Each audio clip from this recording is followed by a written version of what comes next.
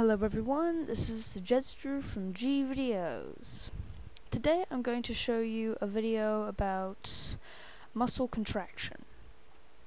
Right now we have got our two filaments, actin and myosin. Myosin is the one at the bottom, actin is the one at the top. But um, yeah, we have these we have these two filaments attached to the myosin is a myosin head, which is at the moment attached to a molecule of ATP, um, and it is cocked and dislodged from actin. And now we have also got um, we've also got actin, which has got oh oh it's got um, it's got um, this molecule called tropomyosin attached to it, which is the pale green thread. And also we've got a molecule called tropomyosin, which is attached. It's the breaking thing. Oh, next we have our next frame, which has got we got two calcium ions attached to each troponin complex, and now we have also got um, we have the myosin binding sites on the actin are exposed. The tropomyosin has been moved out of the way by the troponin moving it. Also, the ATP has split apart into ADP and inorganic phosphate, which um, split apart the energy to join to the actin and cock.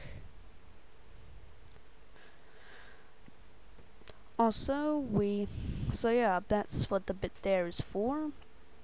It's cocked all the way, energy helps the myosin head attach.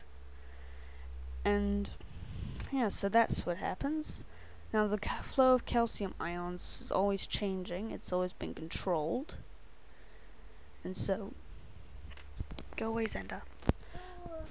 And so now we have also got, um, so the spiral Oh, where am I going? Uh, anyway, we moved on to our next frame. Uh, so, now you can see that the ADP is left, but the inorganic phosphate is removed. This causes a power stroke, which allows the myosin head to cock, or to flex, and pull the actin across, which helps for, which is the contraction. And, uh, so yeah, Cox binding sites are still exposed and pulls it across. Now, usually, now this is only just for one piece. Uh, usually there are several other, usually there are several other myosin heads on the myosin filament doing the exact same thing.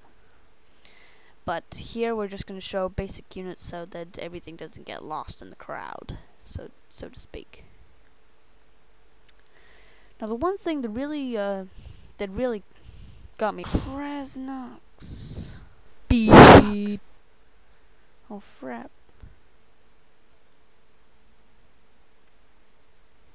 Oh, it's um it's out of the way. Uh, so yeah, it's in the way now. The uh, head is now cocked as it was when we started this animation. And this concludes our this concludes our video.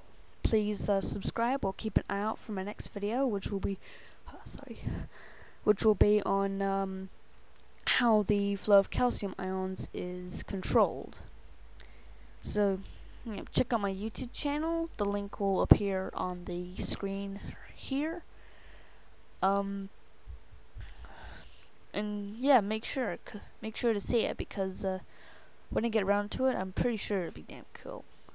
Oh, it would be good. Bye.